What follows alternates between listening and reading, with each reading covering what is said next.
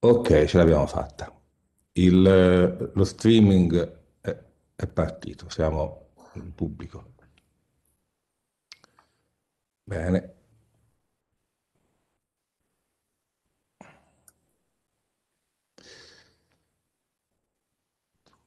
Vediamo ancora.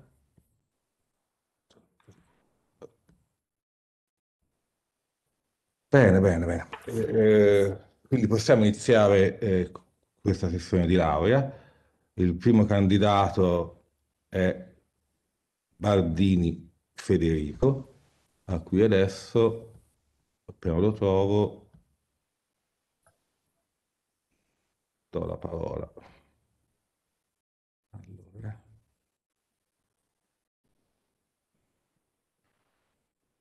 Dov'è? Eh, non vedo Bardini. Eccoti, eccoti. Okay. A questo punto hai la parola e poi puoi presentare. Ok. Aspetta.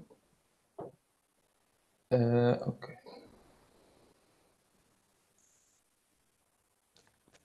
Aspetta.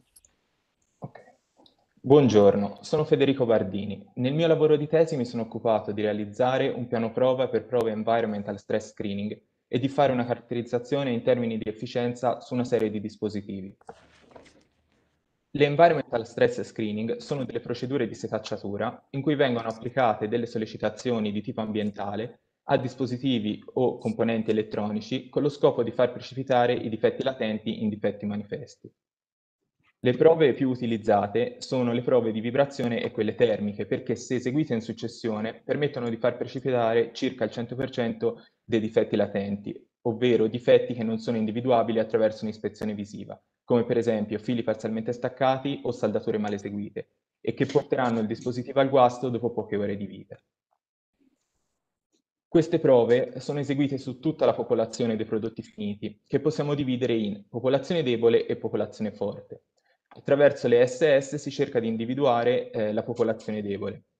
Con queste prove non si incrementa l'affidabilità del singolo dispositivo, ma si incrementa l'affidabilità dell'intera popolazione, in quanto vengono eliminati quei dispositivi difettosi che si guastano dopo poche ore di vita e che contribuiscono a generare un tasso di guasto inizialmente elevato. Quella che vediamo in basso è la curva Vasca ed è un grafico universalmente riconosciuto e accettato per descrivere il tasso di guasto dei dispositivi. È divisa in tre zone, zona della mortalità infantile, zona della vita utile e zona dell'invecchiamento. Noi vogliamo eh, diminuire il tasso di guasto nella zona della mortalità infantile. Infatti, come possiamo vedere, il tasso di guasto della popolazione in cui è stata eseguita la setacciatura risulta essere nettamente inferiore del tasso di guasto eh, della, della popolazione in cui non è stata eseguita tale setacciatura. Il dispositivo da noi testato è un convertitore di CDC che era già eh, stato progettato in laboratorio, io mi sono occupato di realizzarlo e caratterizzarlo con delle procedure test. Questo dispositivo verrà poi inserito all'interno di una rete di sensori nell'ambito eh, dell'agricoltura 4.0, quindi si troverà all'esterno e, sa e sarà soggetto ad agenti atmosferici, variazioni di temperatura, vento e presenza di animali. Quindi l'esecuzione su di esso di prove eh, termiche e di vibrazione è ideale per, per simulare le condizioni che incontrerà sul campo. Di questi dispositivi ne abbiamo realizzati 8 per poter rendere la prova più significativa possibile. Poiché dovevamo fare un'analisi di ripple e di risposta al gradino, li abbiamo alimentati attraverso una rete eh, di alimentazione eh, che abbiamo fissato su una piastra in alluminio. Inoltre in questa piastra vi abbiamo fissato anche le schede per agevolarne il trasporto, per dissipare il calore, per realizzare un cable management e per fissarle in maniera corretta sul banco vibrante per eseguire le prove di vibrazione. Una volta che le schede sono state realizzate e assemblate, sono stati eseguiti il test funzionale, il ciclo termico, lo step termico, le vibrazioni random e le vibrazioni sinusoidali. Vediamole nel dettaglio. La prima prova che abbiamo eseguito è il ciclo termico, nelle quali le schede sono state inserite all'interno di una camera climatica, la temperatura fatta scendere fino a meno 20 gradi e la temperatura è stata mantenuta costante per un'ora. Dopodiché la temperatura è stata incrementata fino a 80 gradi e mantenuta costante per un'altra ora. Questo processo è stato eseguito per due cicli. I limiti di temperatura invece a meno 20 e 80 sono stati scelti studiando i datasheet dei componenti in modo tale che le prove rimanessero all'interno dei limiti operativi dei componenti e tenendo conto delle temperature che il dispositivo incontrerà sul campo. La seconda prova che abbiamo eseguito è lo step termico, nelle quali le schede sono ancora una volta state inserite all'interno di una camera climatica, la temperatura fatta scendere fino a meno 20 gradi e mantenuta costante per 10 minuti. Dopodiché è iniziata la fase di salita, dove ogni 5 gradi la temperatura è stata mantenuta costante fino a 10 minuti fino a 80 gradi, dove poi è iniziata la fase di discesa. La terza prova che abbiamo eseguito sono le vibrazioni random, nelle quali le schede sono state fissate su un banco vibrante, il quale ha applicato delle sollecitazioni anche simultanee a frequenze comprese tra i 5 e i 1000 Hz. Come possiamo vedere da profilo, 5 Hz corrisponde a una sollecitazione nulla, questa sollecitazione poi è stata incrementata con una pendenza di 3 dB per ottava fino a 30 Hz, fino a 200 è rimasta costante e per poi decrescere ancora una volta con una pendenza di 3 dB per ottava fino a 1000 Hz non esistono standard internazionali per prove di vibrazione su dispositivi utilizzati in ambito agricoltura 4.0.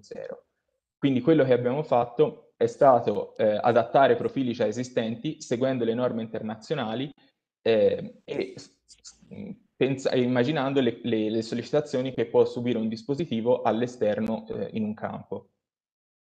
L'ultima prova che abbiamo eseguito sono le vibrazioni sinusoidali nella quale si parte da una frequenza di 5 Hz che corrisponde a una sollecitazione nulla, si fa una spazzolata in avanti in frequenza con il passo di un'ottava al minuto fino a 1000 Hz, per poi tornare indietro. Ovviamente le prove di vibrazione vengono eseguite ogni volta per ciascun asse.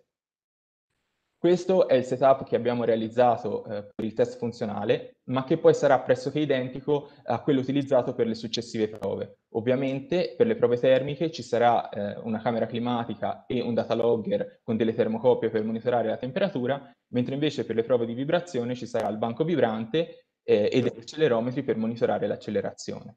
Quindi abbiamo le schede da testare, un alimentatore a due canali, un PC per acquisire dati eh, provenienti dai microcontrollori delle schede inerenti a potenza, tensione e corrente sia d'ingresso che d'uscita, un oscilloscopio per l'analisi di ripple e di risposta al gradino, due multimetri per, per misurare la, te la, tensione e la corrente sia d'ingresso che d'uscita e un altro PC per acquisire dati provenienti dal microcontrollore e da, dal multimetro e dall'oscilloscopio. Prima di eseguire le prove è stato eseguito un test funzionale, per verificare il corretto funzionamento delle schede. Questo test è stato eseguito in laboratorio senza applicare eh, sollecitazioni e della durata di circa 10 minuti. Durante questa prova tre schede si sono guastate a causa di un falso contatto sul morsetto. Una volta riparate, una di esse ha continuato a non funzionare a causa di una resistenza che si è bruciata per una saldatura male eseguita. Appurato che le schede fossero funzionanti, è stato eseguito il ciclo termico, nelle quali le schede hanno manifestato tutte, quasi tutte, lo stesso comportamento, ovvero un incremento dell'efficienza al diminuire della temperatura e viceversa. Tuttavia si parla di una variazione di efficienza di circa un punto percentuale, quindi troppo poco per poter dire che le schede fossero guaste o che avessero un comportamento anomalo. Discorso diverso va fatto per la scheda 7, come possiamo vedere dalla figura, eh, abbiamo un funzionamento intermittente fino a quando la scheda non si è guastata completamente. Il guasto invece era dovuto a un filo che connette il carico alla scheda che si era sfilato dal morsetto. Il ripple è un parametro che solitamente viene studiato per valutare la bontà di un convertitore DC-DC. Quello che abbiamo fatto noi è valutare come variava durante la prova. Quindi abbiamo definito il range, la differenza tra valore massimo e valore minimo, sia in ingresso e in uscita. Per quanto riguarda l'andamento del range in ingresso, possiamo vedere una variabilità all'interno di un intervallo di 10 mV con dei picchi ad 80 gradi.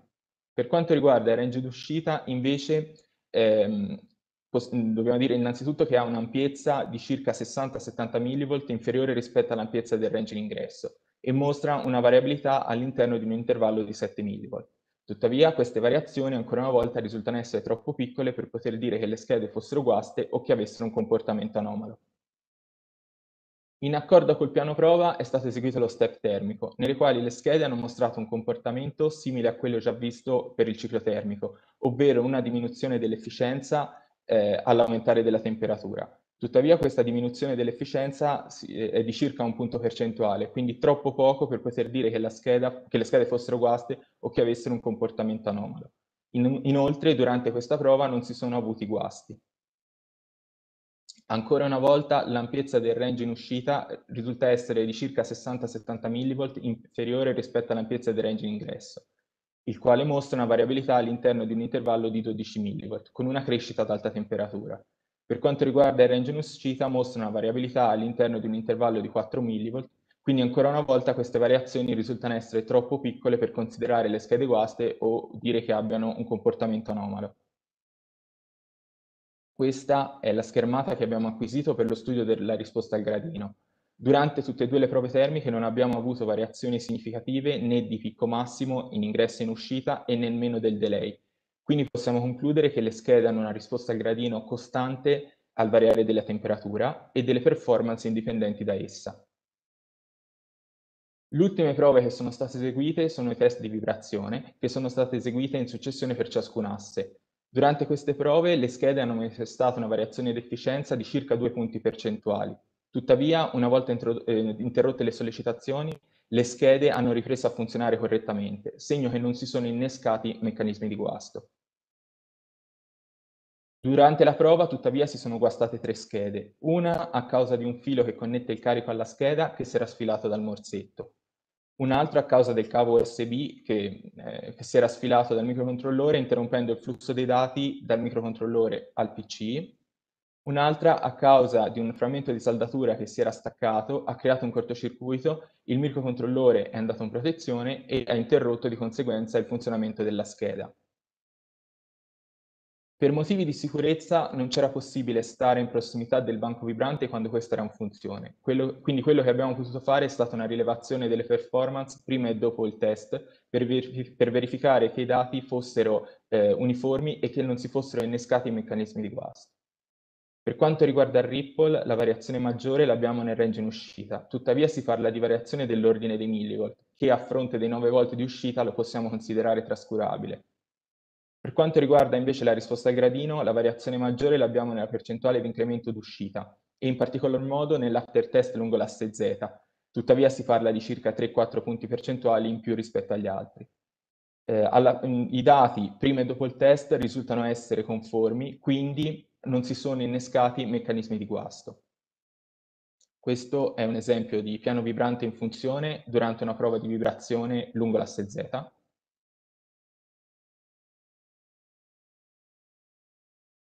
In questa tabella ho indicato in quale prova si sono verificati guasti e per quale scheda. In conclusione, in questa tesi è stato realizzato un piano prova per prove di tipo SS. Sono stati realizzati 8 convertitori di CDC di Bach, sono stati eseguiti due test termici e due test di vibrazione. Alla luce dei risultati raccolti non si sono verificate variazioni significative d'efficienza quando le schede sono sottoposte a sollecitazioni.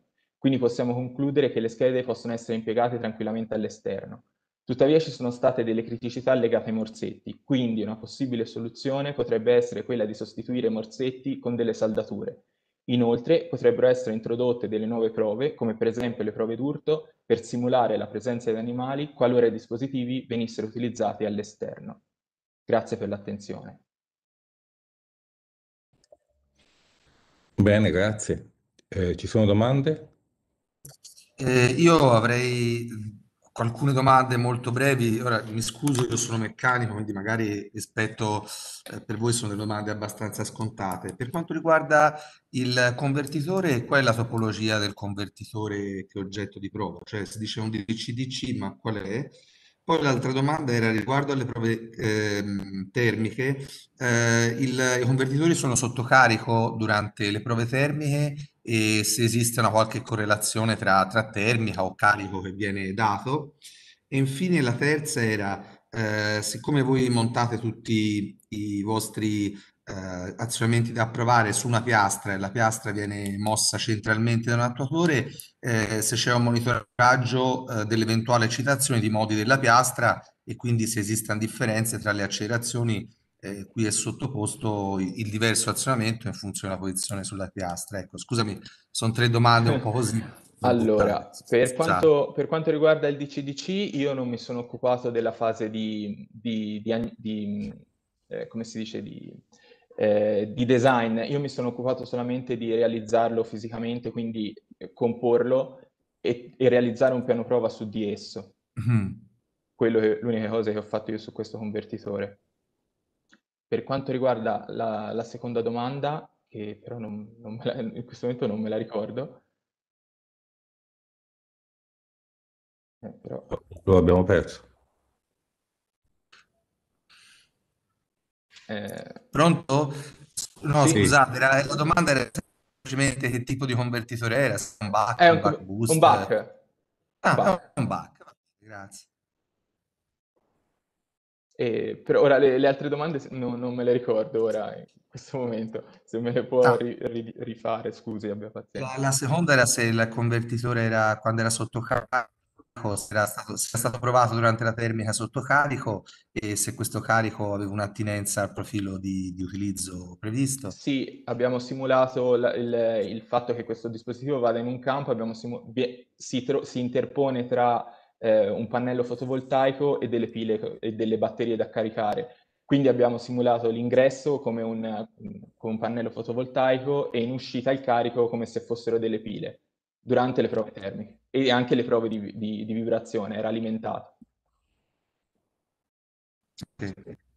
Ah sì, la terza domanda era se la struttura avevate verificato fosse sufficientemente rigida per verificare l'ipotesi che tutti gli elementi solidari alla piastra fossero sollecitati con la medesimo spettro di accelerazione.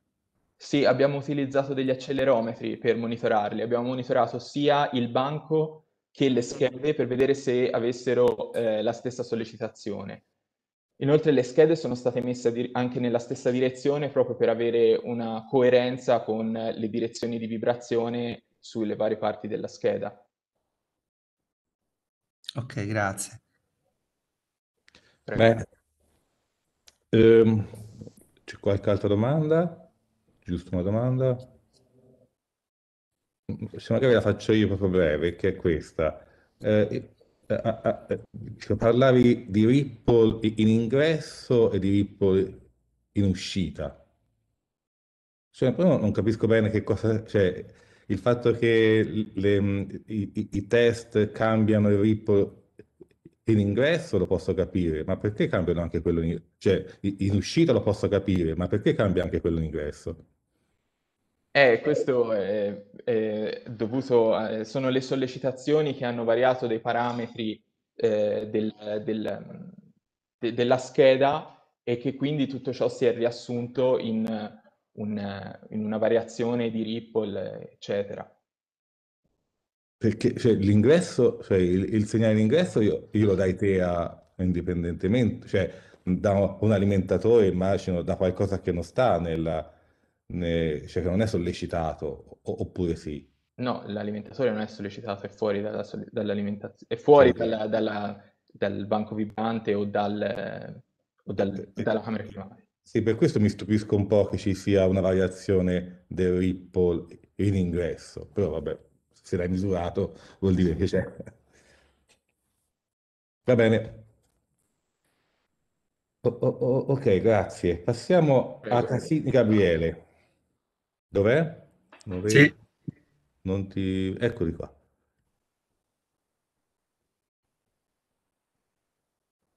No, ho sbagliato, sono andati a Francesco Coretti. Dov'è Casini? sì. Non ti vedo, non ti vedo. Eccoli qui. Perché per un attimo... Ok.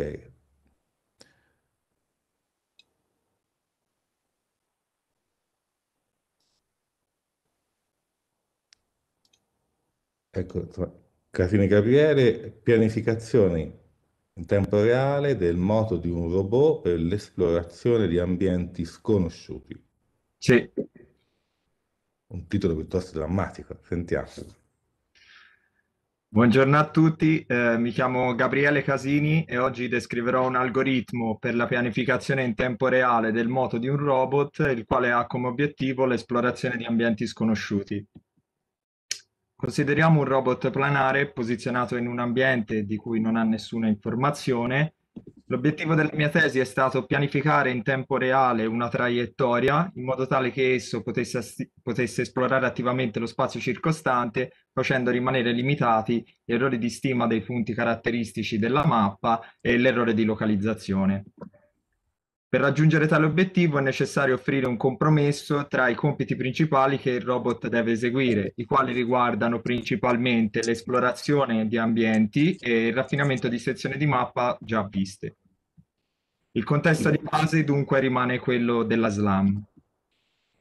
Il problema della simultaneous localization e mapping consiste nel posizionare un veicolo autonomo dotato di un'opportuna sensoristica all'interno di un ambiente sconosciuto e fare in modo che esso riesca a costruire una mappa incrementale dello spazio circostante, stimando simultaneamente la propria localizzazione. La costruzione di una mappa è una funzione di notevole importanza per tutti i veicoli mobili in quanto permette di mh, fornisce supporto ad altri tipi di task come ad esempio il path planning o la visualizzazione grafica dell'ambiente da, da parte di un operatore. Allo stesso modo il tracciamento della localizzazione Fornisce supporto in assenza di sistemi globali di tipo GPS o in presenza di zone dove non è garantito un loro, eh, una loro efficienza, elevata efficienza. Il problema dunque risulta eh, di fondamentale importanza in tutti i domini della, della robotica. Consideriamo un robot che si muove nello spazio acquisendo eh, osservazioni di alcuni punti caratteristici eh, della mappa. Ad un determinato istante temporale è possibile definire il vettore descrittore della posa, il vettore di controllo, il vettore posizione dell'iesimo landmark e infine l'osservazione data dalla sensoristica. Definendo i vettori d'insieme è possibile definire quella che è la densità di probabilità obiettivo della SLAM. L rappresenta la libreria di features o landmark caratterizzanti la mappa. La tale densità sarà caratterizzata dunque da un modello di moto e un modello di osservazione tipici del robot e del sensore, un passo di predizione e un passo di correzione caratteristici dell'algoritmo. Con tali elementi è possibile dunque propagare la densità di probabilità congiunta della traiettoria e della mappa, fornite le misurazioni, gli ingressi di controllo e la stima iniziale. Al fine di propagare tale eh, densità è necessario eh, porre attenzione su un fatto. L'errore di stima eh, tra la posizione stimata di un landmark e la posizione reale è in gran parte comune a tutti i punti notevoli della mappa. Ciò eh, porta comunque a una correlazione tra i vari errori di stima e dunque la generazione di un grafo di correlazioni i cui archi rappresentano l'incertezza relativa tra due landmark. La variazione di uno di questi archi porta un effetto di propagazione all'indietro nell'aggiornamento delle stime. Le tecniche che fanno uso di tale struttura sono l'EKF SLAM, la quale utilizza una logica di tipo Extended Kalman Filter per la propagazione, e la Fast SLAM, la quale è caratterizzata da uno stato raw blackwellized il quale permette di decomporre la densità di probabilità obiettivo in una densità legata alla mappa e una densità legata alla posa del veicolo. È necessario notare che tali strutture eh, ipotizzano che la relazione tra misure e landmark sia nota. In realtà tale setup non è noto e in più sono presenti missed detection e clutter, ovvero false misure. Quindi al fine di modellizzare la mappa e le misure è necessario mh, introdurre il concetto di insieme RFS. Consideriamo l'insieme di misura. Esso assume una duplice natura. Ogni, la dimensione di ogni elemento è finita, mentre la dimensione del, dell'insieme totale è aleatoria. La dimensione di ogni singolo elemento è dipendente dai parametri caratteristici del sensore, mentre la dimensione del vettore to del, dell'insieme totale è comunque caratterizzata dal setup realistico. Ciò porta alla definizione di un insieme RFS per la mappa e per le misure. Ognuno di questi insiemi è caratterizzato da una funzione di densità multioggetto, la quale è modellabile attraverso un processo di Poisson, il quale è caratterizzato da una funzione PHD o funzione di intensità, la quale rappresenta a livello di mappa la distribuzione attesa degli elementi nello spazio e dunque i picchi rappresentano le locazioni più probabili dove trovare i landmark. Tale, procedura, tale PHD è alla base dell'algoritmo PHD SLAM, il quale considera un framework di tipo Raw Black Lies Particle Filter, in cui la PDF marginale della traiettoria è espressa attraverso un insieme di ipotesi di traiettoria. Per ogni ipotesi mantenuta dal particle filter è possibile identificare una particella il quale ha eh, all'interno un peso rappresentante la verosimiglianza eh, dell'ipotesi associata, l'ipotesi di traiettoria associata e infine la, eh, la mappa associata di ipotesi, caratterizzata dalla PHD. L'algoritmo dunque campiona una nuova ipotesi dell'attuale posa del veicolo, propaga la PHD attraverso opportuni passi di predizione e correzione per poi eseguire il reweighting della particella. A questo punto vi è l'estrazione della, della, traiettoria e della mappa attraverso opportuni criteri expected a posteriori o maximum a posteriori, per poi eseguire il ricampionamento delle particelle. Tale procedura di pH di SLAM può essere utilizzata in un contesto di SLAM attiva. Eh, tale declinazione della SLAM tradizionale permette di pianificare attivamente la traiettoria in modo tale da conoscere incrementalmente la mappa, stimando simultaneamente la localizzazione. Il problema dunque risulta nel cercare il punto di arrivo minimizzante una metrica di entropia sulla posa e sul, sui landmark, fornite l'odometria e eh, le misurazioni. Attraverso vari solver è possibile dunque definire quelli che sono i valori risultanti, i quali costituiranno il momento medio della distribuzione normale, della distribuzione normale obiettivo. È necessario dunque modellizzare il termine di entropia, chiamato anche guadagno di informazione, sulla base di alcuni compiti. Per ognuno, necess- per, per tutti questi compiti è necessario dunque offrire un compromesso. Il, il, robot deve essere in grado di soddisfare un requisito di exploration, cioè deve essere in grado di esplorare continuamente aree nuove. Exploitation deve raffinare sezioni di mappa già visitate e mantenere un'accuratezza della localizzazione nei processi precedenti. La, matrice di entropia, la, la, metrica di entropia dunque sarà caratterizzata da un termine eh, di guadagno di informazione sulla mappa già esplorata, il quale può essere modellizzato attraverso, un, eh, attraverso vari termini di incertezza legati ai landmark e alla posa eh, del veicolo. E un, un, guadagno su una mappa eventualmente esplorata, per il quale eh, è necessaria un'attenta modellazione. Eh, considerando un robot in una particolare posizione dello spazio, è possibile definire attorno ad esso un set di possibili destinazioni, per ognuno dei quali eh, varierà il termine di entropia legato all'area eventualmente esplorata. A questo punto è necessario definire la matrice di esplorazione binaria, la quale deve essere introdotta nella particella e propagata assieme ad essa. La variazione di, eh, dei parametri associati, eh, dei valori associati alla matrice di esplorazione eh, comporta dunque una eh, visione diversa dell'area esplorata e della nuova area. Un valore di 1 indica che la casella è esplorata, un valore di 0 indica che la casella non è esplorata. Il numero di elementi diversi tra la matrice di esplorazione legata all'area esplorata e la matrice di esplorazione legata alla nuova area fornisce un termine, il quale può essere utilizzato nella modellazione dell'entropia completa.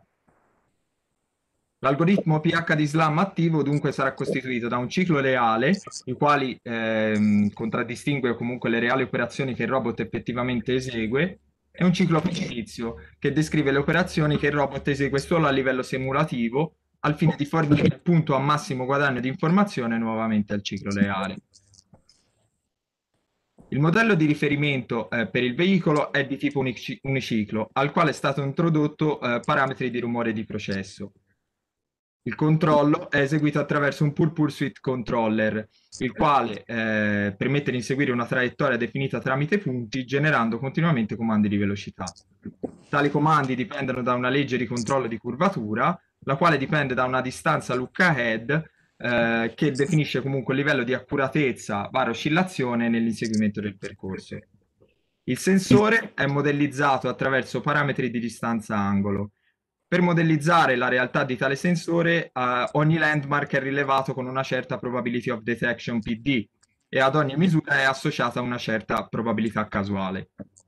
Se la probabilità associata alla misura è inferiore rispetto alla probability of detection, allora eh, il, la misurazione viene inserita nel vettore di misura totale, al quale eh, è aggiunto comunque un rumore, parametri di rumore di misura.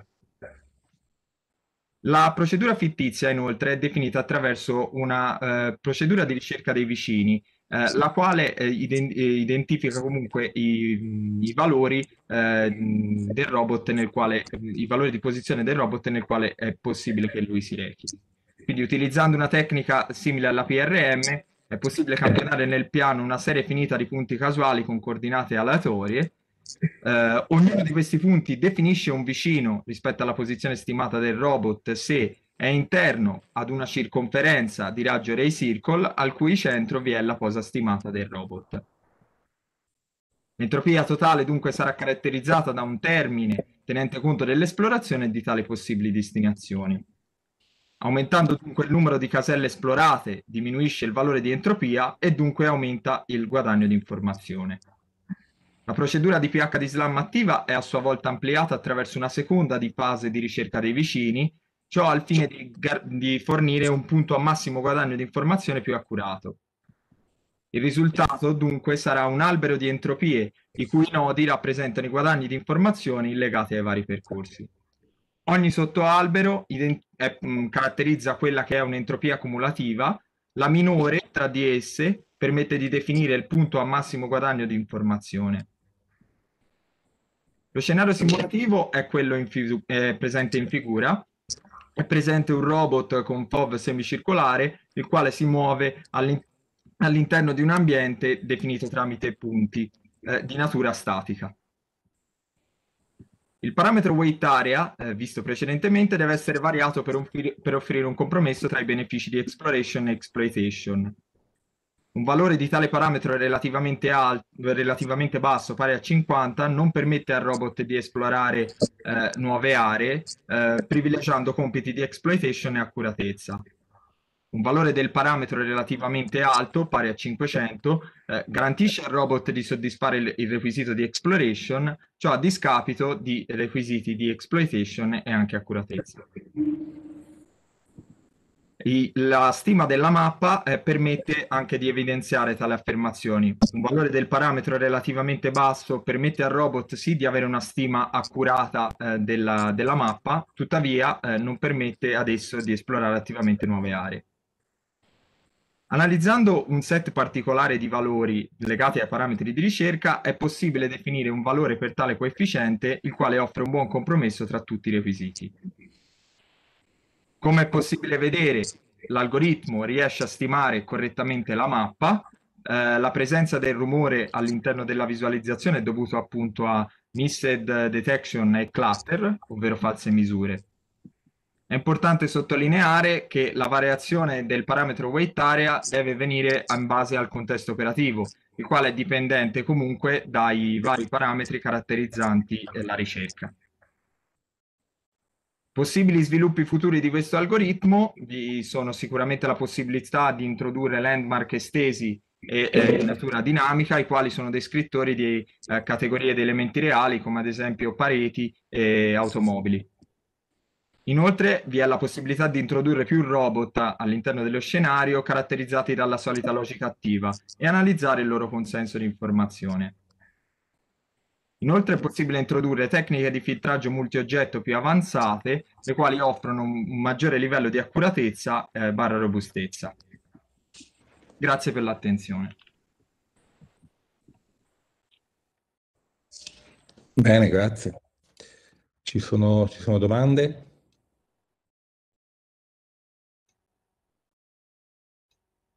Se non ci sono domande, ne vorrei fare una io molto semplice. Mi scuso, io non sono, mi occupo di robotica, sono semplicemente un ingegnere meccanico. E, ehm, però ecco, riguardo eh, tutto lo studio viene impostato eh, su una combinazione matematico-statistiche molto, molto approfondite, molto interessanti.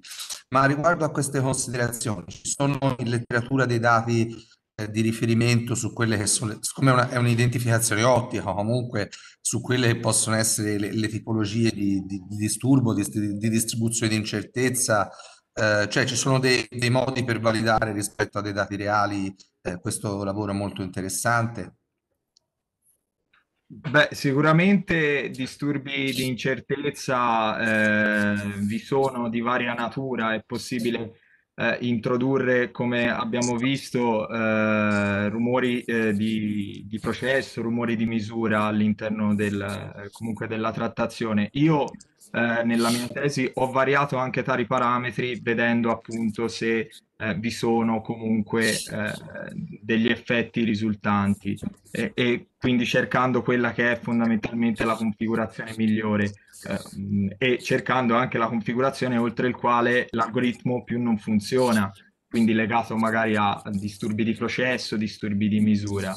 Eh, quindi sì, sicuramente la tesi eh, si basa su una trattazione comunque che comporta anche disturbi di, di questo tipo, ecco. Va bene, grazie. Grazie. Altre domande? Cioè, potrei averne una, diciamo anch'io un po' da, da non esperto di queste cose, ma tu, tu hai parlato spesso di landmark, no? Sì. Ma, e, come il sistema è in grado di individuare un landmark da un, cioè un qualcosa che non è un landmark? Diciamo, che cos'è che... che... No, allora, sostanzialmente eh, ho modellizzato eh, il sistema in questo modo. Um, siccome la tesi è eseguita tutta tramite script, ho ipotizzato che ci fosse una mappa reale definita attra- appunto attraverso tali punti, che sono i landmark, eh, i, punti, i famosi punti rossi che sono presenti nella visualizzazione, eh, attraverso il, il sensore eh, calcola quei parametri di distanza angolo eh, con tali punti. Mm, se eh, ovviamente vi è il requisito di accesso all'insieme totale e se la probabilità comunque associata alla misura è inferiore rispetto alla probability of detection, allora impostata dall'utente, allora il landmark viene inserito nell'insieme reale. Però può essere anche a sua volta non inserito perché è tutto un concetto legato alla probabilità di inserimento. Eh, in, per modellizzare comunque la realtà, ehm, cosa, cosa, si è fatto sostanzialmente? Um, sono stati, sono introdotti nell'algoritmo anche false misure e eh, appunto mancate misurazioni. Quindi sostanzialmente i parametri in ingresso sono quelli legati al landmark, ai landmark, solamente quelli. Poi è possibile riuscire a vederli come a non vederli, però la mappa è dettata da quello, è come se vi sono solamente quelli di punti caratteristici che il robot può, può analizzare. Ok, grazie. Va bene, passiamo quindi al prossimo candidato che è Liverani sì. Gerardo. Vediamo se riesco a passarti. Ecco. Dovrei... Ok, quindi dovrei poter condividere, immagino. Condividere schermo. Sì, vediamo fino a se. Funziona? Non lo so, non me ne rendo conto. Ancora no. Ok. Condivido. Eh, ecco, adesso sì. Ok. Quindi,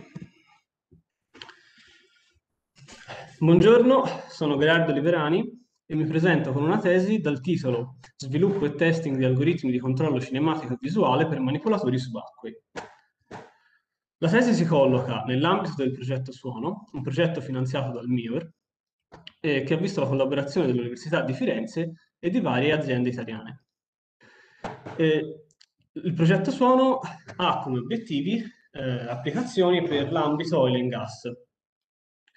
Eh, in particolare, tra gli scopi è presente quello della, dello sviluppo di un sistema di controllo per un sistema di tipo UVMS, eh, cioè un Underwater Vehicle Manipulator, Manipulator System.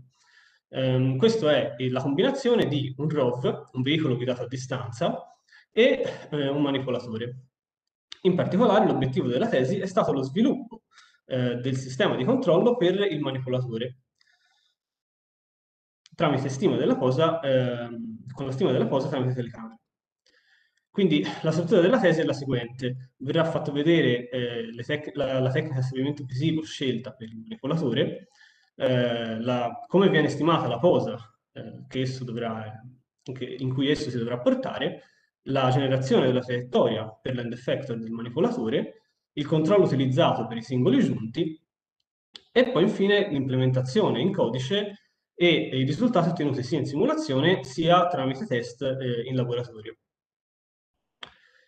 Um, per quanto riguarda l'algoritmo di assorbimento visivo, eh, è stato scelto una, un, algoritmo di tipo, un, un, algoritmo di indiretto o eh, look and move. Questo perché si ritiene sia eh, più, più robusto ad eventuali fallimenti del sistema di visione. Um, per quanto riguarda la stima della posa desiderata per l'end effector, questa deve essere svolta, deve essere riferita alla terna base del manipolatore. Um, in particolare è necessario ottenere quindi delle, trasforma delle, trasformazioni omogenee che ci permettano di passare dalla terna base dell'end effector alla posa desiderata. Eh, la, prima, la, prima, che, viene, che è necessaria è chiaramente la posa che porta direttamente dalla base del manipolatore all'end effector. Eh, questa viene calcolata tramite la cinematica diretta del, del braccio robotico eh, ottenuta tramite parametri di Dynamite-Ettenberg, eh, che sono stati calcolati tramite i disegni tecnici del, del, manipolatore. In particolare questo è il manipolatore UMA fornito dalla Graltec, dalla ditta Graltec. Um, la seconda che ci interessa è la, la trasformazione che passa, quindi che esprime la, la posa della terna camera interna in effector. Eh, questa è fissa poiché è stata scelta eh, una configurazione del tipo A in end e quindi può essere misurata in, in fase di progetto. La stima della posa poi del target viene effettuata tramite telecamera eh, e quindi eh, viene estrapolata dalle informazioni provenienti da essa eh, la, la, posa del, di un marker eh, espresso nella terna camera. Infine, eh, l'ultima, trasformazione che ci interessa è quella che permette di passare dalla, dal marker, da, quindi che esprime la posa desiderata nella terna marker. Complessivamente la composizione ci porta ad avere eh, la, posa del, la, posa desiderata per l'end effector in termini e in, nel riferimento della terna base. Eh, poiché è stato scelto di utilizzare una telecamera, Prima bisogna effettuare una calibrazione sulla camera stessa, eh, questo significa scegliere un modello, in questo caso è stato scelto il modello Pinol, eh, che porta alla matrice di calibrazione e ai parametri di, di distorsione eh, in, ehm, della telecamera, che, che, sono detti parametri intrinseci della telecamera. Questi vengono stimati tramite eh, un processo di minimizzazione dell'errore di riproiezione eh, che viene effettuato eh, acquisendo immagini di punti noti nello spazio eh, tramite pattern a scacchiera, eh, di cui si riporta un esempio nell'immagine. Per la stima della pose invece ehm, del, dell'end effector è stato effettivamente utilizzato un uh, augmented reality marker. Uh, questi sono stati utilizzati perché sono estremamente semplici eh, da trovare all'interno delle immagini, eh, hanno dei tempi di calcolo molto bassi e una stima della posa estremamente accurata. Eh, in particolare sono state utilizzate dei marker mm, noti come Aruco, eh, sviluppati all'Università eh, di Cordova e di cui si, si riporta sempre nell'immagine un, un esempio. Una volta acquisita la posa desiderata per l'end effector è necessario generare la traiettoria che eh, ci porti dalla, dalla, posa attuale dell'end effector fino a quella desiderata. Eh, questo viene fatto eh, in maniera differente per posizione ed orientazione. Eh, per quanto riguarda la posizione è stata utilizzata una interpolazione convessa eh, tra il punto iniziale e il punto finale, lineare conversa tra il punto iniziale e il punto finale, mentre invece per quanto riguarda la parte di orientazione eh, è stato necessario utilizzare ehm, tecnica, un algoritmo detto SLERP o Spherical Linear Interpolation. Eh, questo perché l'orientazione è espressa in quaternioni e la Spherical Linear Interpolation è l'equivalente dell'interpolazione lineare convessa nello spazio dei quaternioni. Um, per quanto riguarda invece il profilo di velocità scelto per eh, le traiettorie, poi per le singole componenti delle traiettorie, eh, queste sono state scelte trapezoidali e vengono guidate da un parametro lambda, eh, funzione del tempo. eh, e i cui, diciamo, che è definito come un polinomio definito a tratti e i cui parametri sono scelti in modo tale da rispettare eh, le velocità massime e le accelerazioni massime del manipolatore nello spazio operativo. La legge di controllo utilizzata poi per controllare i singoli giunti è, è stata una legge di controllo cinematica. Um, questa genera le velocità uh, dei singoli giunti um, del, del, manipolatore. Uh, si basa sull'inversione della cinematica differenziale del braccio robotico. Uh, in particolare viene utilizzato il jacobiano e in realtà la sua pseudo inversa per invertire le equazioni differenziali del l'equazione della cinematica differenziale del manipolatore. Questo permette di generare sia le velocità desiderate nel, nello spazio operativo, sia eh, di correggere l'errore della traiettoria che, che viene commesso durante l'esecuzione della traiettoria. Se il jacobiano dovesse perdere di rango, eh, si possono creare problemi come eh, all'aumento delle singole velocità del, del dei giunti del manipolatore, Ehm, e quindi è necessario utilizzare una pseudo inversa smorzata per correggere questi, eh, questi problemi. Il tutto, il sistema è stato implementato tramite ROS, eh, Robot Operating System. Eh, questo è un ambiente di sviluppo nei codici di C++ o Python eh, che è mirato per le applicazioni della robotica. Eh, si basa su una struttura a grafo in cui ogni elemento del grafo è chiamato nodo e ehm, rappresenta un applicativo o un'unità di calcolo che esegue un, un, certo, un certo, algoritmo. Eh, ogni nodo può comunicare con gli altri nodi tramite un sistema di topic eh, che è basato su una struttura di tipo publisher-subscriber e che permettono quindi di comunicare, eh, di, si dice di pubblicare su un, che permette a ogni nodo di pubblicare su un topic e agli altri nodi di ascoltare i dati pubblicati su questo topic tramite delle funzioni tipo callback. Quindi l'implementazione, lavoro eseguito durante la tesi è stata l'effettiva implementazione dei nodi all'interno del sistema ROS. Eh, in particolare è stato implementato il nodo che fa, esegue la stima del marker tramite del, la stima della posa del marker, eh, questo tramite le librerie di OpenCV.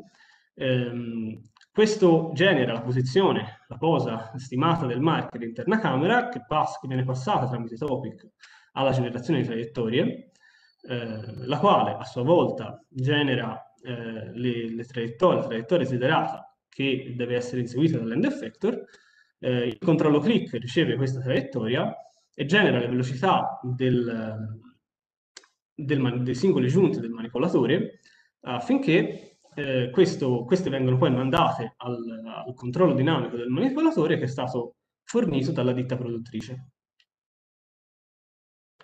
Per quanto riguarda i risultati, sono stati fatti sia test in laboratorio sia test eh, in simulazione. Eh, per quanto riguarda il sistema di visione, è stato scelto semplicemente di controllare eh, che durante l'esecuzione dell'algoritmo non ci fossero degli outlier, degli outlier eh, particolarmente significativi, eh, così che non ci fossero poi dei comportamenti indesiderati durante eh, l'esecuzione effettiva del, del manipolatore. Uh, le traiettorie sono state generate in maniera corretta, ehm, sia in simulazione sia in, nei casi reali, sia nei, nei, test in laboratorio, poiché non dipendono dal sistema a cui sono legate. Ehm, e si può vedere che effettivamente eh, hanno il profilo trapezoidale scelto eh, per le velocità eh, del, delle singole componenti delle traiettorie.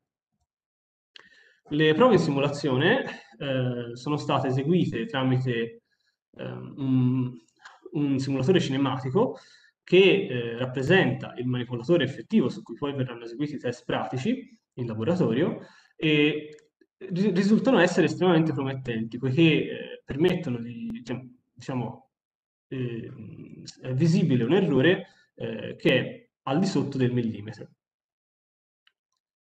per quanto riguarda la posizione chiaramente e, e l'orientamento. Um, Invece eh, in, eh, le prove in laboratorio sono state eseguite nel laboratorio di modellazione dinamica e meccatronica dell'Università di Firenze a Pistoia, dove si trova il braccio UMA, eh, che è un braccio a 6 gradi di libertà, e in questo caso le prove sono state eseguite con il supporto di un mock-up di un pannello, eh, su cui è attaccato il marker e lo scopo è stato quello di provare a mandare il, il manipolatore sufficientemente vicino alle, al pannello e alle maniglie su di esso attaccate eh, per controllare effettivamente eh, che poi sia possibile effettuare una seconda fase ehm, di avvicinamento ulteriore alle maniglie e di, di, grip, mm, di, di presa sulle maniglie stesse. Eh, anche in questo caso sono soddisfacenti i risultati ottenuti poiché eh, l'errore si mantiene limitato nell'intorno del millimetro eh, dalla posa desiderata durante la traiettoria. In conclusione, è stata implementata una tecnica di controllo cinematico, la stima della posa desiderata per l'end effector è stata ottenuta tramite eh, l'utilizzo di marker, eh, il sistema è stato testato prima su un simulatore cinematico e poi su un manipolatore reale. Eh, per quanto concerne gli sviluppi futuri, ehm, la, sarà chiaramente necessario avere un sistema di controllo sia per che, che, comprenda sia il veicolo sia il manipolatore. Questo si pensa di farlo tramite ehm, un sistema detto Task Priority Inverse Kinematics. Eh, sarà necessario riconoscere direttamente il target da, della manipolazione, della missione, eh, tramite Automatic Target Recognition senza passare dal marker e eh, chiaramente saranno necessari dei test sul campo in ambiente subacqueo. Grazie per l'attenzione, se ci sono domande rimango a disposizione. Bene, grazie. Ci sono domande? Se, se non ci sono domande ne farei una, una, una io, però anche qui molto semplice, dettata da ignoranza della materia. Ecco, il, um, a un certo punto lei parla giustamente di calibrazione della telecamera all'inizio. Eh, volevo chiederle se, eh, siccome questi test sono riferiti a prove in area, se esiste in letteratura eh, qualche maniera per correlare o per creare dei modelli, come dire, di distorsione avrebbe il comportamento della telecamera eh, se fosse in acqua per effetto del differente indice di rifrazione oppure del fatto eh, che mh, magari non conta per, una, per, per, la vostra applicazione e anche i colori vengono falsati in maniera selettiva, no? Nel sì, senso... ci, ci, sono dei modelli a riguardo, non sono stati presi in considerazione durante questa tesi perché il braccio sono, è chiaramente posizionato fuori dall'acqua, come si è visto durante le, le prove in laboratorio. Comunque sono presenti, sono stati fatti dei test anche a riguardo, dipende molto chiaramente dal, dalle condizioni in cui ci si trova Ecco, è, è possibile falsare l'informazione ideale che stai avendo dalla telecamera in aria con qualcosa che introduca sull'acquisizione queste... Ehm, ah, queste- ah, ho capito. Ehm, no, Scusi, beh, ho espresso male perché non sono... no, no, no, no, no, no, no, si, figuri, non avevo capito. Eh, no, penso che di solito in questi casi vengono- si possono fare direttamente dei test eh, in acqua, mm-hmm. eh, eventualmente introducendo... Si possono fare direttamente dei test in acqua, ecco tutto qui. Va, va bene, grazie, mi scusi. No, no. Va bene. Eh, qualche altra domanda? Va bene, ok. Passiamo quindi al prossimo candidato, Mhm. Mela Alberto. Presente. Ah, Dovresti uscire da... sì, sto cercando di trovare un modo di far collaborare. Scusate, è la prima volta che uso...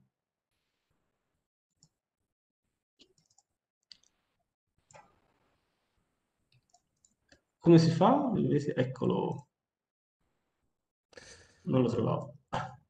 M- Mela Alberto, eccolo qua. Adesso diamo la parola a Alberto Mela. Ecco, puoi già presentare. Ditemi se o quando si vede. Sì, sì, a posto, puoi cominciare, grazie. Perfetto. Allora, mi presento, sono Alberto Mela e vi mostrerò ora la tesi che ho sviluppato in collaborazione con l'azienda Sky System, nella quale ho sviluppato il modello dinamico di un drone ad ala fissa con capacità VTOL. I droni, anche detti aeromobili a pilotaggio remoto, sono dei aeromobili in grado di volare in maniera autonoma senza necessità di personale umano a bordo. Eh, ne esistono di varie tipologie, a loro volta classificate in vari modi, ma i due generalmente più comuni sono i droni alla fissa e i droni multirotore. I droni alla fissa in particolare eh, godono di grossi vantaggi dal punto di autonomia, efficienza e velocità. Un esempio di drone alla fissa è il Rapier X25, un mini UAV tattico sviluppato dalla SkyEye che ha numerose applicazioni sia in campo civile che in campo militare. L'obiettivo di questa tesi consiste nel partire da alcuni dati sperimentali derivanti dal, da, da, dal prototipo del PX25 forniti dalla SkyEye al fine di sviluppare un modello di UAV con, eh, alla fissa con capacità VTOL, ossia di vertical take-off and landing, che siano in grado di fornire al costo di un aumento del peso la capacità al drone di decollare e atterrare in maniera verticale, nonché di effettuare eh, manovre di overing. Quindi come questo drone sarà in grado di effettuare due modalità di volo, modalità di volo ad ala fissa e modalità di volo VTOL. La modalità di volo VTOL è ottenuta mediante quattro eliche connesse a, alle barre di coda, chiaramente eh, accoppiate a quattro motori. Sono stati selezionati quattro motori elettrici BLDC eh, e eliche e motori sono stati selezionati da eh, cataloghi online di produttori. Questo metodo di volo gode di un'elevata stabilità posizionale e di un'elevata manovrabilità nello spazio tridimensionale. Tuttavia eh, è soggetto a velocità molto basse. Inoltre, poiché il snare VTOL deve generare per intero la potenza necessaria a sollevare il drone, eh, la spinta necessaria a sollevare il peso del drone, è soggetto anche a consumi molto elevati, anche causati dal fatto che per scarse velocità eh, le eliche sono soggette a coefficienti di avanzamento molto ridotti e quindi eh, soggetti, cioè, caratterizzati da punti di efficienza ridotti delle eliche. Tuttavia, eh, quindi questo sistema viene fondamentalmente utilizzato al fine di decollare e atterrare in maniera verticale o al limite eh, effettuare manovre di overing. Per questo sistema di volo è stato sviluppato un, un, ehm, una logica di volo eh, basata su quattro azionamenti che agiscono in parallelo sulle, sui quattro motori, ciascuno dei quali costituito da pionelli in retroazione, che controllano eh, rispettivamente il, la quota, la posizione frontale, la posizione laterale e l'orientazione, in base ai riferimenti posizionali x, y, z e a un riferimento di orientazione che può essere alternativamente fornito o esternamente o essere aut automaticamente valutato dal sistema di controllo come differenza angolare tra la direzione attuale e la direzione che congiunge il punto attuale del drone al punto successivo del, del waypoint. Per quanto concerne invece la modalità di volo ad ala fissa, questa si basa su un motore di coda, eh, sempre BLDC selezionato da cataloghi e accoppiato a un'elica, e sul, eh, sulle ali e sulla coda, a cui sono incenerate quattro superfici di controllo, due sulle ali e due sulla coda, necessarie a effettuare le manovre. Questa modalità di volo è molto vantaggiosa in quanto eh, in grado di eseguire velocità frontali molto elevate, inoltre eh, godendo di un rapporto tra lift e drag delle ali molto elevato, dato dall'efficiente struttura dinamica delle ali, fa sì che la spinta generata dal motore di coda non sia necess eh, necessariamente, cioè sia necessaria a, a, compensare soltanto una piccola parte del peso del drone e quindi a far sì che questa modalità di volo sia legata a consumi molto ridotti. Tuttavia, eh, per, affinché le ali generino una portanza eh, sufficiente a consentire il volo, è necessario avere una, velocità, una certa velocità minima. E inoltre questo sistema di volo non è in grado di effettuare spostamenti laterali. Per cui, via queste caratteristiche, lo si usa fondamentalmente per il volo di crociera. Anche per questo sistema di volo è stato sviluppato un sistema di controllo anche eh, basato su quattro azionamenti. Il primo azionamento è, è, agisce sul motore di coda al fine di controllare la quota. Il secondo azionamento agisce sulle superfici di controllo eh, incenerate sulle ali, dette aileron, fine, controllandole in maniera antisimmetrica al fine di generare il momento di rollio necessario, rollio necessario a effettuare la virata e quindi inseguire un riferimento di orientazione. Per gli ultimi due azionamenti invece eh, ci si basa sulle superfici di controllo incenerate sulle, sulla coda, dette rudder vator, che sono in grado di eh, eseguire contemporaneamente gli effetti di rudder e elevator comunemente riscontrati dalle omonime superfici differenziate eh, nelle code convenzionali a T invertita. L'effetto di elevator è ottenuto eh, controllando le superfici di controllo della coda in maniera simmetrica ed è utilizzato per controllare la velocità del drone mentre invece l'effetto equivalente di Hadder è ottenuto eh, azionando le superfici di controllo della coda in maniera antisimmetrica ed è utilizzato al fine di, di, di, generare un contrasto attivo agli effetti di disturbo di cross-interazione tra il rollio e l'imbardata dovuti, al, eh, dovuti alla virata. Dal momento che sistema, questi sistemi di volo necessitano il controllo simultaneo in parallelo di numerosi attuatori, ossia 5 motori eh, brushless e eh, 4 superfici di controllo orientabili, è stato optato a livello di sistema di alimentazione per un sistema di alimentazione ibrido serie, eh, notevolmente vantaggioso in quanto a eh, attuazione e, e, controllo, anche se eh, leggermente sconveniente dal punto di vista del, del rendimento rispetto a ehm, rispetto ad altri tipi di configurazioni, tipo la configurazione puramente endotermica o eh, ibrido parallela, come è ampiamente studiato in altre tesi e articoli.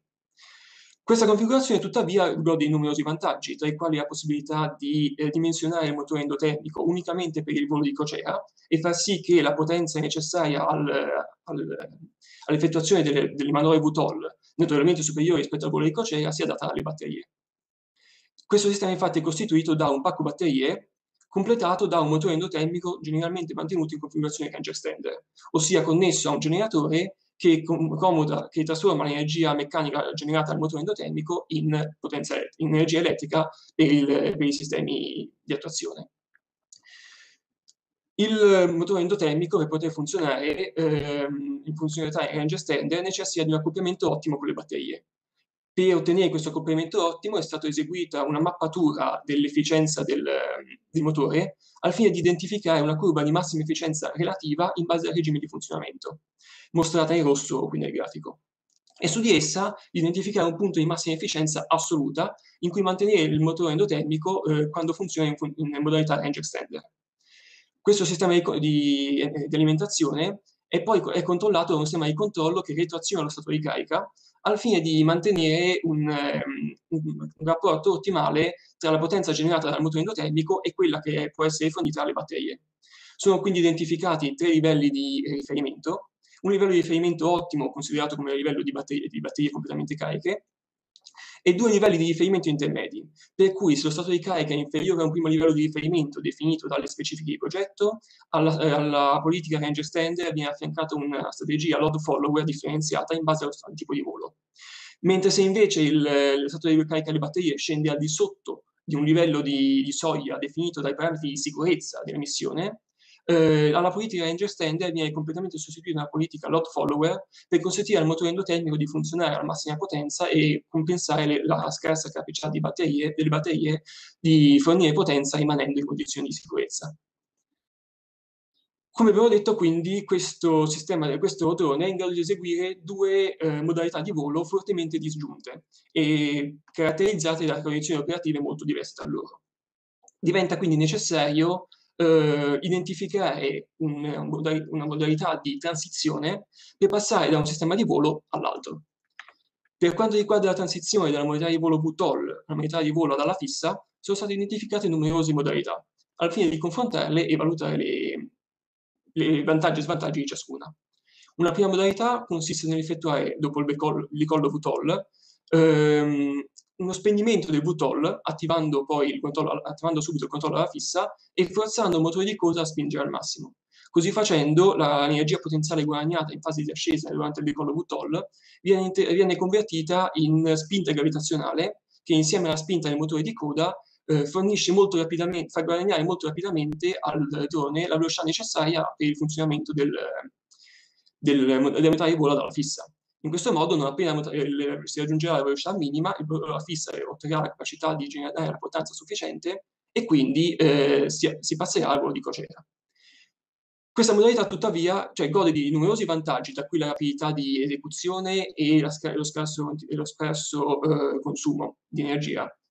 Tuttavia, è soggetta a una forte parità di quota rispetto alla quota di transizione, che è considerato un elemento molto svantaggioso delle transizioni, e inoltre, inoltre, durante la fase di transizione, non essendo attivo il VTOL e non essendoci la velocità minima per garantire la funzionalità delle superfici di controllo, eh, non è eff effettivamente possibile effettuare un controllo di volo del, del drone. Questo soprattutto in base alle normative vigenti sulle, su, sulla possibilità di rendere commercializzabile un drone con capacità VTOL, non è un eh, metodo di transizione adoperabile. Tuttavia è un buon metodo di confronto rispetto alle altre eh, tipologie di transizione. Un secondo metodo invece molto interessante è un metodo eh, che consiste in utilizzare durante la fase di transizione il VTOL con lo scopo di mantenere una quota fissa.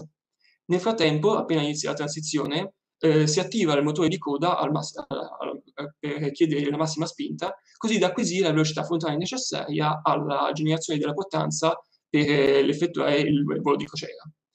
Modello, questa modalità di volo è molto eh, conveniente dal punto di vista della stabilità e del controllo di volo durante la fase di transizione, tuttavia eh, è soggetta a lunghe tempistiche di, di, transizione in quanto la spinta per guadagnare accelerazione è data unicamente dal motore di coda. E quindi, visto che il, il VTOL è molto oneroso dal punto di vista energetico, rimane attivo per tutta la transizione, è soggetto anche a consumi molto elevati. Visti questi due casi estremi, è stato analizzato un gran numero di casi intermedi, di cui adesso vi soltanto un paio, ehm, che, sfrutt che, sfruttano degli effetti combinati di questi due. Per esempio, c'è un, un, terzo metodo che ho mostrato, ehm, che è analogo, al primo metodo, che sfrutta anche qui il, la spinta gravitazionale per acquisire velocità, ma mantenendo il VTOL attivo per controllare la caduta e soprattutto eh, mantenere un certo livello di controllo del drone durante la fase di transizione. Um, un altro metodo considerato, uh, stavolta analogo al secondo metodo mostrato, consiste nel mantenere il VTOL al fine di mantenere attivo per mantenere una quota costante durante la transizione, ma uh, usando il VTOL anche per, per ottenere un certo livello di spinta frontale in modo da affiancare alla spinta ottenuta dal motore di coda anche la spinta del VTOL e velocizzare in questo modo il, il tempo di transizione, riducendo di conseguenza i consumi. Questi due metodi sono caratterizzati dalla possibilità di, di, dal fatto che sfruttano in gran parte l'handshaking fisico di transizione tra le due modalità di volo, ossia il fatto che eh, la modalità di volo VTOL e la modalità di volo alla fissa ehm, necessitano delle stesse caratteristiche di beccheggio per guadagnare velocità frontale o per ridurre la velocità frontale. Eh, di conseguenza possono essere mantenuti attivi contemporaneamente durante la fase di transizione al fine di cooperare per eseguire la manovra. Per quanto invece riguarda la transizione dal volo alla fissa al volo VTOL, eh, sarà eseguito un solo metodo in quanto particolarmente efficiente nel, nell'esecuzione, analogo al terzo metodo mostrato, che eh, alla fine della fase di, di crociera, subito prima dell'atterraggio, attiva il, il, spegne il motore di coda e attiva il modello, dando un riferimento di velocità al, al volo alla fissa nullo, in modo tale che questo eh, generi un beccheggio positivo tale da eh, trasformare la velocità in energia potenziale e allo stesso tempo viene attivato la modalità VTOL spingendo un, eh, al massimo e sfruttando il beccheggio positivo dato, ottenuto velocemente dal, dal controllo di, della fissa per massimizzare l'effetto frenante del VTOL, che, come detto poco fa, sfrutterà l'handshaking fisico per, eh, per ottenere anch'esso un, un beccheggio positivo e quindi aumentare l'effetto frenante. Questa modalità quindi eh, riesce a frenare molto in fretta e con bassi consumi il drone al costo di un piccolo guadagno di, di, quota che non è rilevante dal punto di vista delle condizioni operative in cui viene eseguita questa, questa modalità di transizione. Dopodiché, non appena la velocità raggiungerà livelli paragonabili con, il, con la velocità di controllo del VTOL, ehm, si passerà alla, all'atterraggio effettuato con modalità semplicemente VTOL spegnendo il controllo ad ala fissa. Quindi, definito la, la, struttura del drone e il, le logiche di controllo, sono state effettuate un, un gran numero di test per valuta, validare il, la robustezza e l'affidabilità del sistema creato. Ora riporterò soltanto la simulazione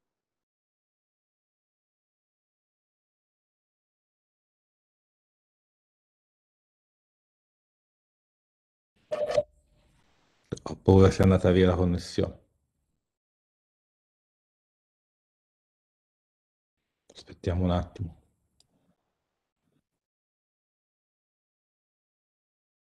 Tornata? Pronto? Alberto, ci senti? Ecco, ecco. Oh, ci senti? seguito poi a sua volta da un certo Alberto, numero... Alberto, riparti dal lucido precedente perché c'è stato, un, scusa il termine, un buco audio, scusami, ti sei perso per un lucido. Oddio, Dalla mi chiedo scusa. Dalla fine eh, del precedente, scusa, scusa. chiedo scusa, da qui? Sì, dalla fine, è arrivato quasi in fondo e stai per passare al successivo, mi scuso Ah. dell'intervento. No, no, no, per l'amor del cielo, non, non me ne sei accorto, non me ne sono accorto. Ehm, dicevo, ricapitolando per concludere questa- questo lucido, ehm, viene effettuata la transizione da, eh, fase, eh, dalla fissa a fase VTOL eh, usando un shaking fisico tra le due fasi, delle due modalità di volo. Quindi sfruttando la capacità modalità di volo di collaborare per ottenere un beccheggio positivo e quindi eh, posi- posizionare il drone in un'ottima posizione per sfruttare la spinta VTOL come effetto frenante.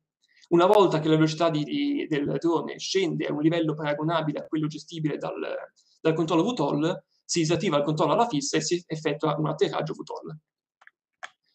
Ehm, dopodiché, effettu- eh, effettuato il dimensionamento del drone e eh, definito il- i metodi di controllo delle- dei metodi di volo, e sono stati eseguiti numerosi test per validare la robustezza e l'affidabilità del sistema sviluppato.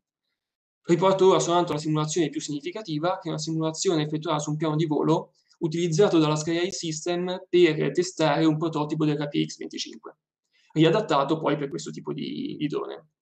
Questa modalità di volo è una modalità, è un, eh, sfrutta un piano di volo basato su waypoint che ha punto di partenza e zona di volo intorno al- all'aeroporto di Fubara nel Lazio, aeroporto militare di Fubara nel Lazio.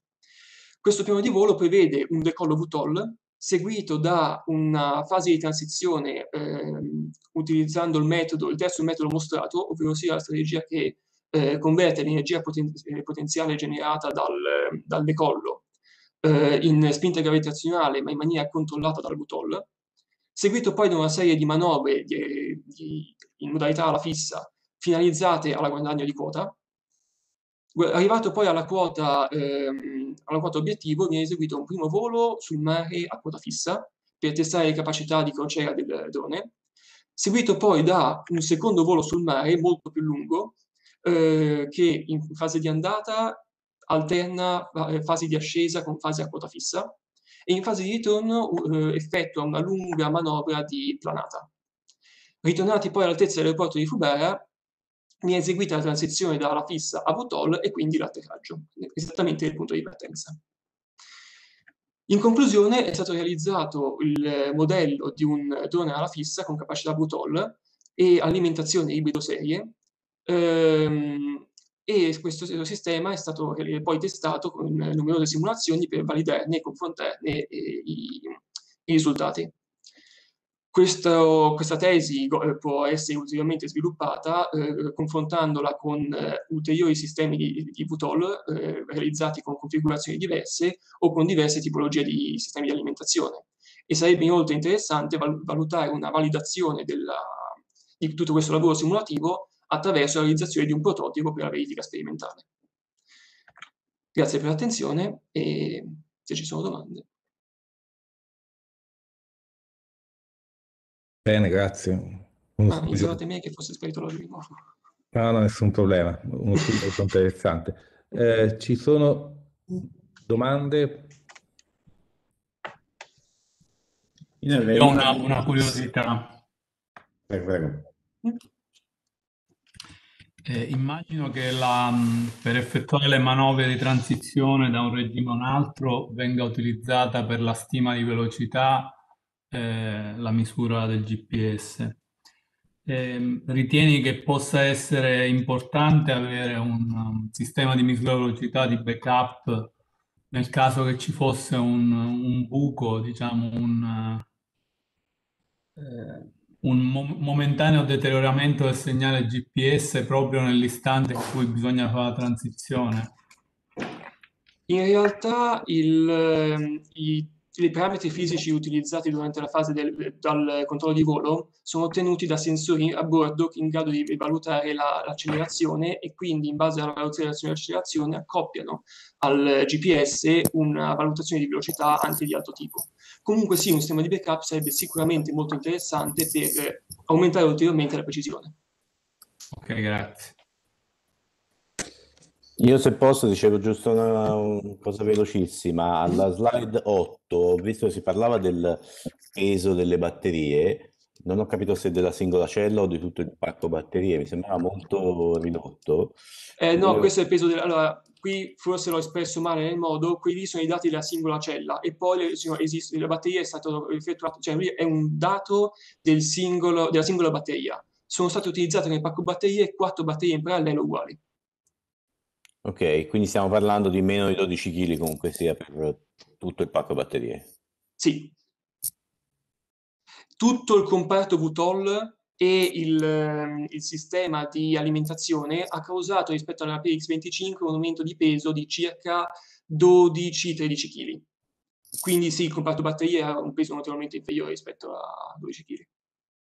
Mm, pensi che ci possa essere margine di miglioramento con altre tecnologie di batteria? Sicuramente. Adesso io ho, ho utilizzato durante questa, con questo, questa tesi un'alimentazione ibrido serie apposta perché anche dare la possibilità alla SkyEye, utilizzando il mio lavoro, di effettuare un confronto con i loro sistemi che sono fondamentalmente il sistema che utilizzano attualmente la P25, che è un sistema puramente endotermico. Eh, inoltre ci sono altri studi in corso su eventuali altri possibili sistemi di alimentazione, per esempio il sistema ibrido parallelo. Eh, è sicuramente molto interessante effettuare dei confronti tra varie tipologie di alimentazioni, sia dal punto di vista del, dell'efficienza di generazione della potenza, che dal punto di vista del peso, come parlavamo poco fa, dovuto al sistema energetico. Perfetto, grazie mille. Bene, anch'io magari giusto una curiosità avrei, cose che hai raccontato. Che cosa succede alle, alle eliche, quelle per la spinta verticale, quando è in crociera? Cioè, nel senso, in qualche modo, eh, diciamo, peggiorano le caratteristiche di volo, cioè, disturbano in qualche modo, immagino che aumentano il drag, no? Uh, allora, che... eh, l'influenza delle eliche del VTOL in, in fase di, di, volo di crociera è stata relativa, non particolarmente considerata in quanto di, rispetto ai, alla, agli effetti delle, dei coefficienti dimensionali utilizzati per dimensionare le ali sarebbero praticamente irrilevanti.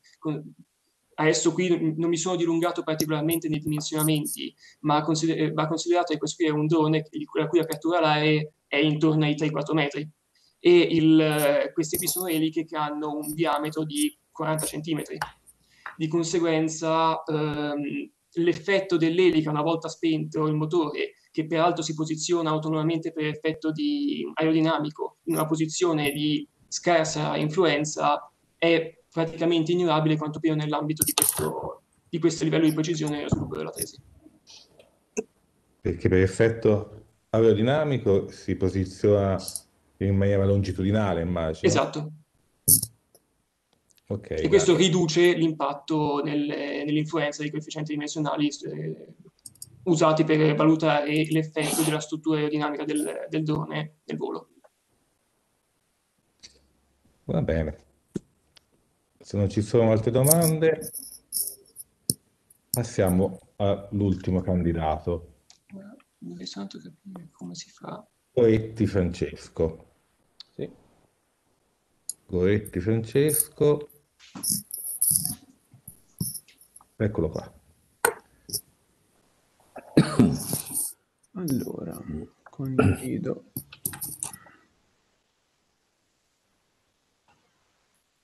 Lo schermo. Scusate, eccola qua.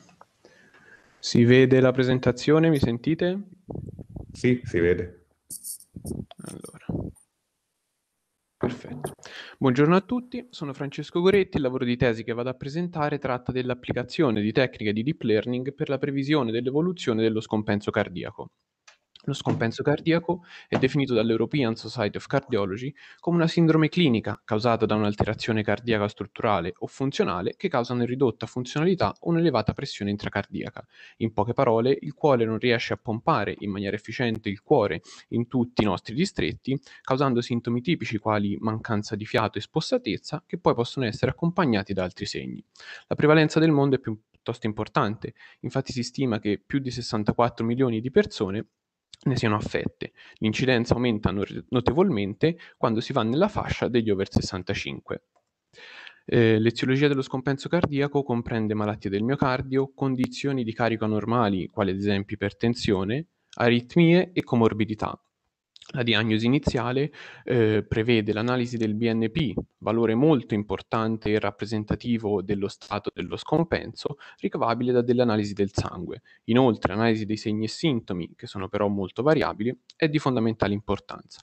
Il tutto è di solito accompagnato da delle analisi strumentali, come l'elettrocardiografia, l'ecocardiografia, eccetera. La prognosi pur- purtroppo è rappresentata da una ridotta qualità di vita ed è difficile da stimare quantitativamente. Infatti, nel eh, European Journal of Heart Failure si riporta come gli stessi medici spesso siano riluttanti a comunicare informazioni quantitative. Lo stesso articolo riporta eh, un aspetto piuttosto interessante ma anche preoccupante dello stato dello scompenso cardiaco ad oggi, che nonostante gli sviluppi delle terapie non sia affatto diminuito. Questo a causa dell'aumento dell'età media delle popolazioni e quindi una maggiore quantità di persone nella fascia di età più colpita e la diffusione della problematica nelle fasce di età più giovane. In Italia eh, lo scompenso cardiaco eh, rappresen- eh, copre circa l'1,5% della popolazione e si stima che circa un milione di pazienti in Italia ne sia affetto. È un eh, grande carico anche a livello economico, in quanto circa il 2% dei costi sanitari sostenuti al sistema sanitario nazionale ne sia ehm, sottoposto. Quindi a causa dell'alto tasso di ospedalizzazione e riospedalizzazione e l'alto costo della gestione, si vede come annualmente vengano investiti circa 3 miliardi di euro. Inoltre è la prima causa di morte per cause cardiovascolari in Italia. Quindi l'obiettivo di questo lavoro di tesi è stato sviluppare due sistemi distinti, uno per la classificazione dell'entità dello scompenso cardiaco e ottenere quindi una diagnosi precoce e la riduzione dell'ospedalizzazione e della mortalità, e la previsione dell'entità nelle visite future per progettare al meglio la terapia e ridurre quindi le riospedalizzazioni. Inoltre si spera che possa essere di aiuto a fornire prognosi quantitative con più sicurezza. Il, la presente lavoro di tesi è stato possibile grazie allo, alla collaborazione con l'ospedale di Santa Maria Nuova di Firenze, facente parte dell'azienda UZL Toscana Centro, e in particolare col reparto di cardiologia. La collaborazione ha avuto inizio nel 2013 nell'ambito della tesi di dottorato dell'ingegner Guidi, conclusasi nel 2016 realizzando fra le varie cose un sistema per la gestione dei pazienti scompensati e un primo classificatore basato su machine learning. La raccolta dati è continuata fino ad oggi, eh, raggiungendo 1888 registrazioni provenienti da 760 pazienti diversi. Come si può intuire dal numero di citazioni, il lavoro del 2014 è stato utilizzato e migliorato da numerosi studiosi nel corso degli anni. Per questo eh, l'obiettivo principale di questo lavoro è stato anche quello di definire un nuovo livello più alto per lo stato dell'arte. Quando si parla di stato dell'arte associato ai sistemi di supporto alle decisioni, non si può non menzionare il deep learning. Il deep learning è una branca della eh, intelligenza artificiale che mira a imitare i processi delle reti neurali biologiche. Infatti, l'algoritmo fondamentale si chiama rete neurale artificiale ed è eh, l'appellativo DEEP invece proviene dal fatto che dispone di più livelli di elaborazione dei dati, chiamati anche livelli nascosti. È stato dimostrato come siano particolarmente efficienti anche rispetto al machine learning per strutture dati molto complessi e per grandi quantità di dati. Con gli anni si sono sviluppate poi altre reti specifiche per determinati problemi, le convolutional neural network ad esempio, che dominano il campo delle immagini, e invece le recurrent neural network in grado di apprendere informazioni anche dall'ordine in cui vengono presentate le istanze, quindi particolarmente efficienti per dati longitudinali e natural language processing. Prima di entrare nel cuore del lavoro è opportuno un piccolo focus sul dataset. Come detto è composto da quasi 1900 registrazioni e 44 features diverse, provenienti da dati anamnestici, ECG, comorbidità ed eventuali terapia. È stata eseguita un'operazione preliminare di pulizia dei dati, rimuovendo quelli con un numero eccessivo di features mancanti e rimuovendo le feature a bassa varianza.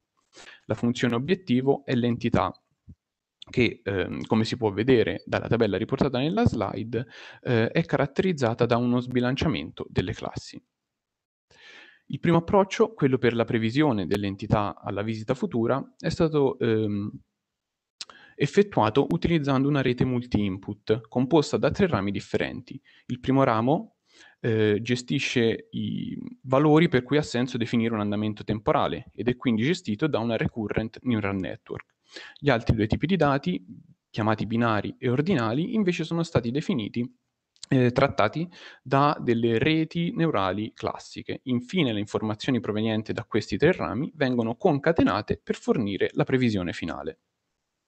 Il flowchart seguito è riportato in questa slide. Partendo dal dataset sono state eseguite tre operazioni principali di data preprocessing, rimuovendo i record senza follow-up in quanto non disponevano di un'entità futura da prevedere, la scalatura delle feature a media zero e varianza unitaria e l'interpolazione del BNP, che come detto è un valore estremamente importante, ma faceva parte anche di quelle eh, feature con molti valori mancanti. Per questo è stato assegnato, mh, in caso di assenza, un valore proporzionale alla classe attuale.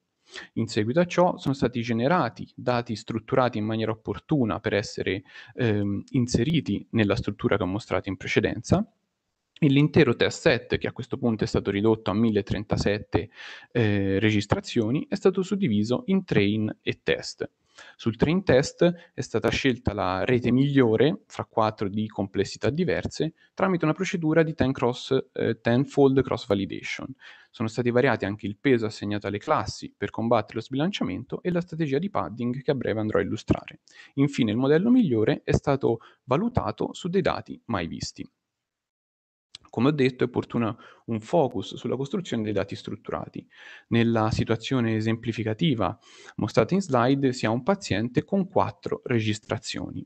La prima sezione dei tre dati strutturati comprende i dati tempo dipendenti e viene costruita inserendo iterativamente più informazioni in funzione dell'istante di tempo considerato.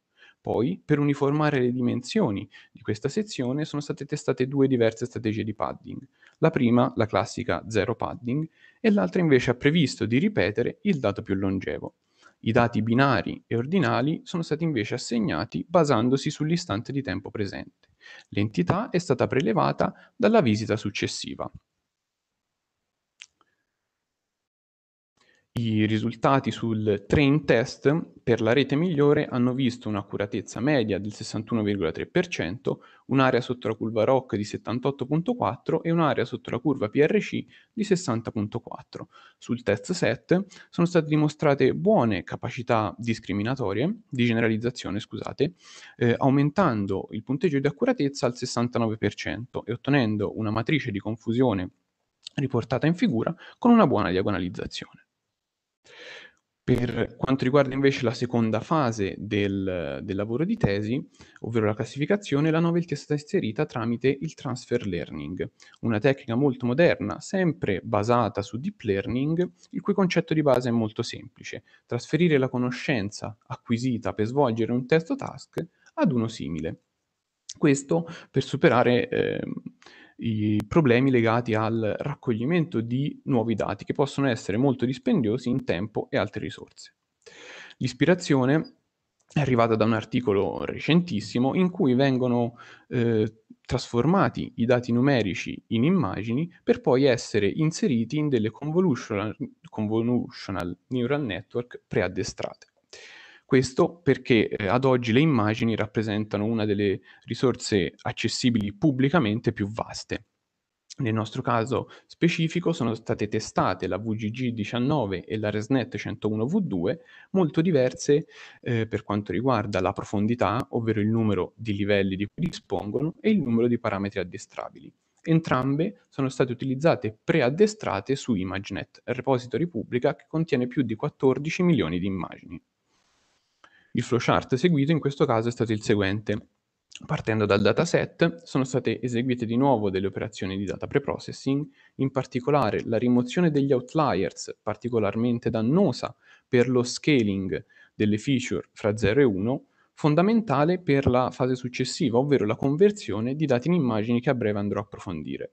Infine, le immagini sono state ulteriormente elaborate con del data augmentation per bilanciare le classi e sono state ridimensionate per matchare con la dimensione dell'input delle reti che ho citato in precedenza, che sono state quindi addestrate e, se ritenuto necessario, sono state eseguite alcune epoche di fine tuning.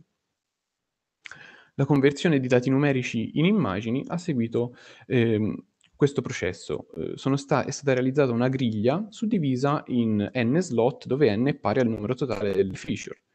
Eh, la dimensione delle sezioni è eh, stata definita in funzione del, della variabilità della feature considerata, quindi le feature binarie che possono assumere solamente due valori sono state assegnate a un settore più piccolo, eh, caso opposto invece per le feature continue, che possono assumere più livelli di grigio. Applicando poi la trasformazione si ottiene una figura come quella rappresentata. La fase di elaborazione, come accennato, ha previsto la, il ridimensionamento delle immagini in una dimensione di 224 x 224 e la data augmentation invece è stata ottenuta creando nuove istanze, ruotando, traslando o ribaltando le immagini già a disposizione, aumentando la numerosità del test set e del train set come mostrato in figura. La ResNet 101V2 ha mostrato un comportamento estremamente instabile ed è quindi stata eh, ritenuta insufficiente per l'esecuzione del compito. Eh, la VGG19 al contrario ha dimostrato buone capacità di ehm, apprendimento assestandosi con un'accuratezza fra il 70 e il 75%. È stato quindi deciso di testare ehm, l'applicazione del fine tuning per poche epoche di addestramento e ha eh, presentato un innalzamento delle prestazioni in accuratezza arrivando vicina all'80%. Grazie all'early stopping è stato possibile ricavare con precisione eh, le eh, previsioni effettuate a questo step che sono riportate dalla seguente matrice di confusione. Come si vede anche in questo caso, la diagonalizzazione è discreta. Quindi, concludendo, i contributi principali di questo studio sono stati la realizzazione di funzioni per la costruzione di dataset applicabili a modelli di deep learning di varia natura e la realizzazione delle reti per la previsione e la classificazione dell'entità dello scompenso cardiaco. Questo per permettere la valutazione dello scompenso anche da parte di personale non specializzato e eh, per il professionista invece si spera possa essere utile nella stima dell'evoluzione dello scompenso. Gli sviluppi futuri prevedono l'ottimizzazione con altri database, col deep learning i dati non sono mai abbastanza e quindi si può pensare di eh, ricavare altri dati da progetti e collaborazioni oppure da database pubblici. Inoltre, essendo anche un compito computazionalmente oneroso, si può pensare di sfruttare la potenza di strutture di calcolo distribuito. Infine, si può pensare di estendere anche l'approccio a fini epidemiologici per il monitoraggio, la programmazione e l'allocazione di risorse, non, di risorse non solo a livello locale ma anche centrale, quindi USL, regionale, nazionale e così via. Concludo con un ringraziamento d'obbligo che va al dottor Massimo Milli e al personale del reparto di cardiologia dell'ospedale di Santa Maria Nuova di Firenze, senza i quali questo lavoro non sarebbe stato possibile. Grazie per l'attenzione.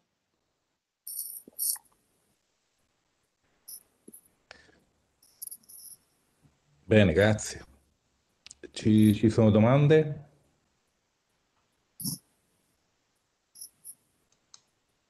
Ma allora ne avrei una io, una curiosità, ma nella procedura di data augmentation ho visto che Sì? si fa anche una rotazione della- dell'immagine, Sì? però eh, diciamo quelle sono immagini che hanno una struttura particolare che riflette quella del dato. Facendo la rotazione questa struttura si, si perde, no? Volevo capire se questo può avere influenza oppure no, poi. Allora, ehm, in letteratura, diciamo, la procedura seguita anche nell'articolo che ho presentato è stata la stessa, quindi mh, è simile. Eh, teoricamente non dovrebbe essere così influente la rotazione, eh, Inoltre sono state, la stessa procedura però è stata applicata anche al test set, ovvi- ovviamente in maniera separata. Quindi è stato appunto, eh, l'addestramento è stato effettuato su immagini standard, ruotate, traslate, eccetera, e lo stesso test è stato eseguito con la stessa trasformazione.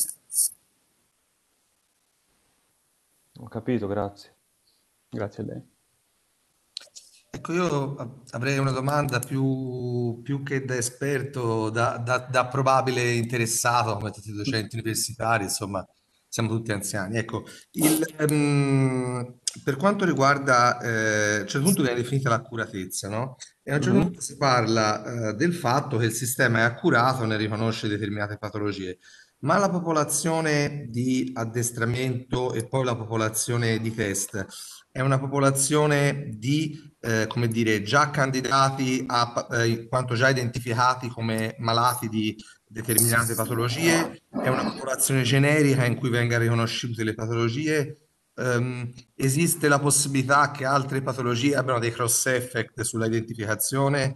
Cioè, ecco, eh, come il vostro studio si colloca rispetto alla distribuzione statistica del campione che voi andate a analizzare? Ecco, scusi la domanda. Niente. Allora, ehm, il dataset utilizzato è composto da pazienti tutti scompensati, quindi eh, diciamo una prima diagnosi è stata già fatta. Quello che è stato differenziato da parte dei professionisti è stata appunto l'entità dello scompenso. Quindi ecco, non so se è sufficiente rispondere alla sua domanda, ma la popolazione di provenienza è tutta facente parte del, del- personaggio- di persone affette da scompenso cardiaco. Ok, Al- grazie. Niente, grazie a lei. Bene, ci sono, se non ci sono altre domande, possiamo concludere qui la sessione. Allora, eh, gli- i candidati eh, possono restare qui nella sessione, invece eh, i relatori si, eh, si trasferiscono in Camera di Consiglio. I candidati no, i candidati devono restare qui dove sono, va bene? Promesso.